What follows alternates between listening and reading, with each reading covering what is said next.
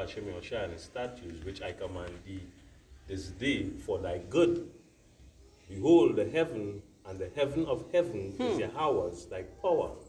The earth also, which all thine, which all that therein is.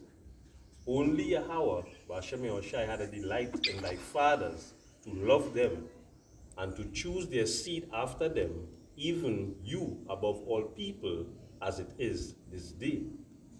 Circumcise therefore the foreskin of your heart and be no more stiff necked.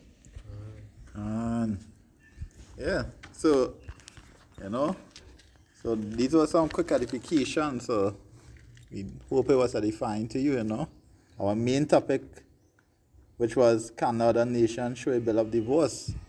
So we brought out this approve all things, and the final conclusion to that question is no.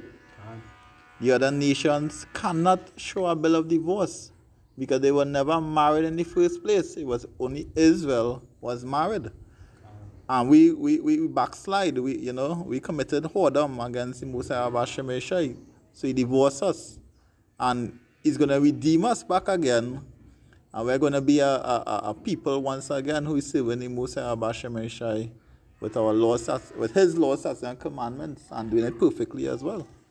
Hopefully. He sent his son to shed our blood. Can. You understand? Although we, although all of we, uh, so the whole of Israel was circumcised at that time, he still sent his son to shed our blood. Can. There's a new covenant that he's going to have with us. That's right. You know? So, So, papers.